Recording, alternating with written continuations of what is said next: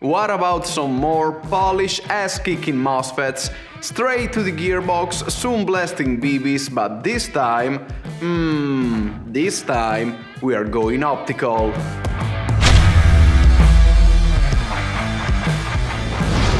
What is up guys, it's Mickey from Chupacabra Outdoor with yet another wizardly electronic unit, this time for V2 gearboxes, and this is actually the first regular gearboxes electronic unit that I talk about on the channel, and it's actually quite special one since it has no switches or moving parts at all, thanks to the use of optical sensors which detect the gears, trigger and selector plate.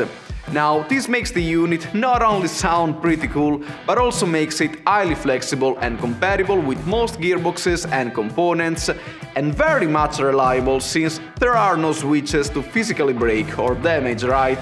We are talking about the Perun V2 Optical which, don't get me wrong, still is a MOSFET transistors based unit, so we are still getting all the usual perks from this type of unit, uh, from a physical standpoint by removing the mechanical contacts and their usual wear, since there will be no carbon buildup on the trigger switch contacts, and through the circuit board by adding new functions uh, such as firing modes, pre-cocking, active brake and battery protection to the AEG.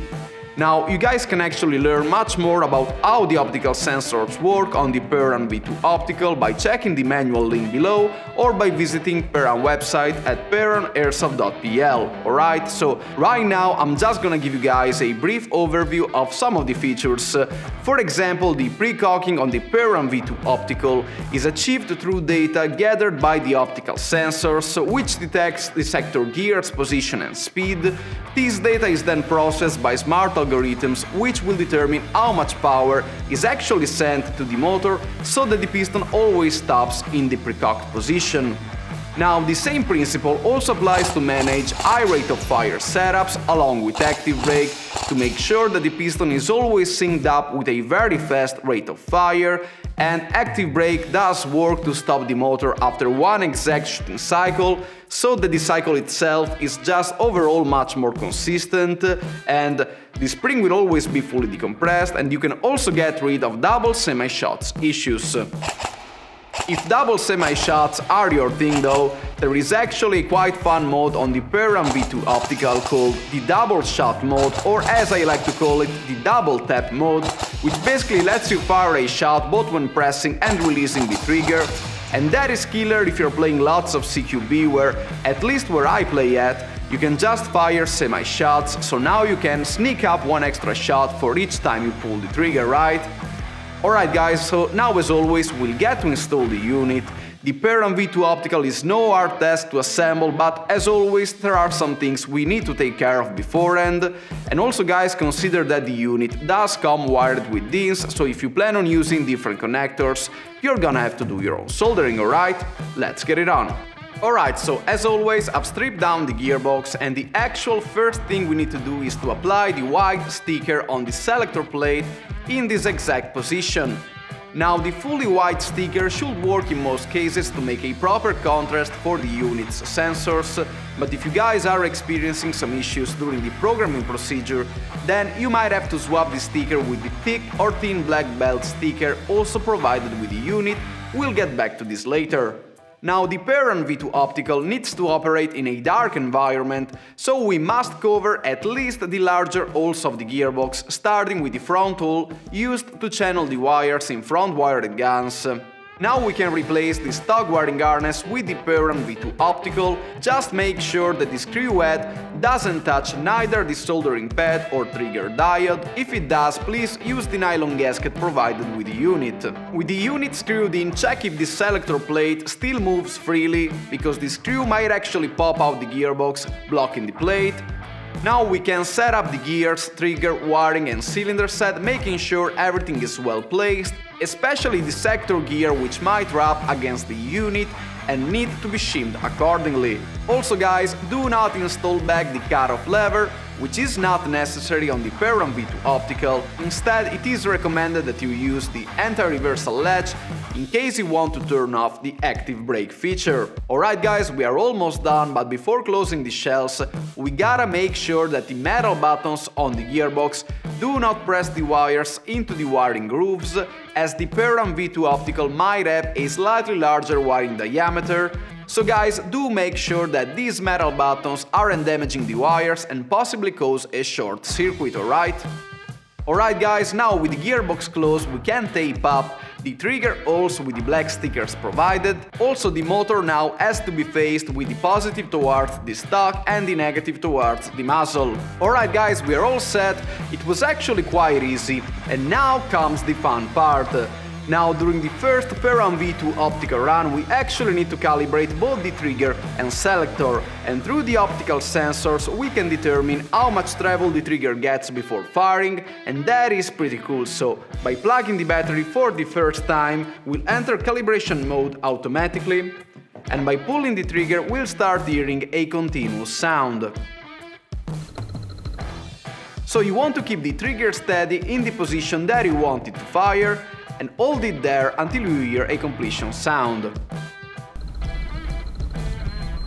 For example, I want the shorter stroke as possible, so I'll stop pulling the trigger right when the sound begins and then wait for the completion sound. Now I will do the same for auto.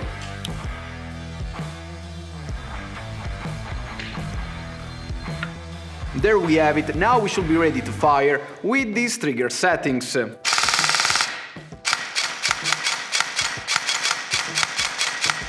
Alright guys, now to enter the actual programming mode, we gotta toggle back and forth twice between semi and auto. And the sound is gonna confirm that we've entered programming mode.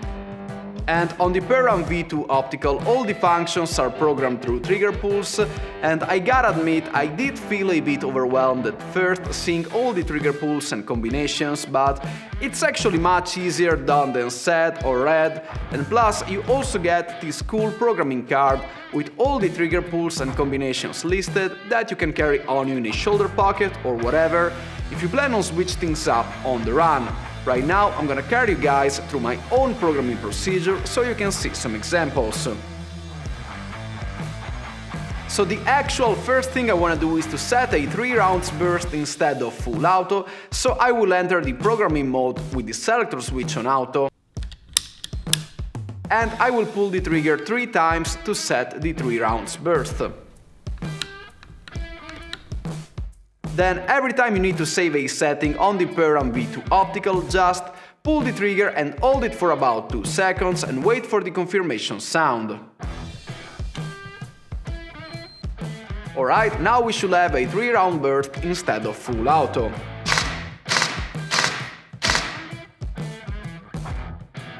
Now I will re-enter the programming mode, this time with the selector switch on semi. Now I want to turn on active brake which is 7 trigger pulls. Then I will hold the trigger for 2 seconds and save the settings. Alright, now I'm gonna re-enter the programming mode on semi to set the pre-cocking which is 8 trigger pulls.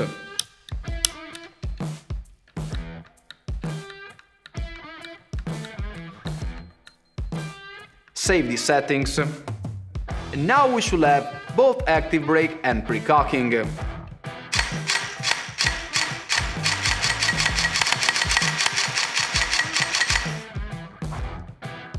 Alright, now the cool thing on the Perun V2 Optical is that pre-cocking has actually some fine-tuning levels uh, and by pulling the trigger 9 times on the programming mode, you can actually start setting up levels uh, and you just do it by toggling the selector switch back and forth uh, and each level has its own sound, for example level 2 has 2 beeps, level 3 has 3 and so on.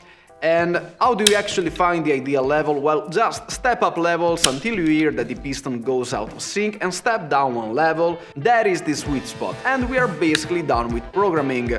Now, wasn't actually all that bad, I think I might have gotten a bit lazy with all these Bluetooth and USB connection apps, which they do make things a bit easier, and I also like to get a visual feedback of what's going on on the AEG, but then again, programming is something that you're gonna be doing every once in a while, so at the end of the day, all I care about is that the unit performs consistently and without any issue. And so far so good on the Perun V2 Optical. I love the optical sensors concept and I was actually able to get much more out of a quite basic gearbox build. So great job by guys at Perun in my book and also props to them for sending the unit so we can all see it and have some fun with it, right? Alright guys, so that's about it for today, but we do have one more thing to do and that is to announce the two AirTech Studios GIK giveaway winners, so I actually found this cool random name picker app on the App Store. So I've got all the guys who entered the giveaway on this list and we picked together two, so the first winner is Victor Key and the second Lupi dell'Alpe. So congrats guys, you are the two AirTech Studios GIK giveaway winners and all you gotta do now is to DM me your address through Instagram so I can actually take care of you and send you the GIKs myself along with some AirTech Studios patches and some of my own stickers as well, alright? And of course a huge thanks goes to everyone else who also entered the giveaway. It was actually quite fun, so do let me know if you would like to see more giveaways on the channel, alright? So that's really it guys, I hope you did enjoy the Perun V2 optical as well. You guys ride on, take care and as always, stay safe out there.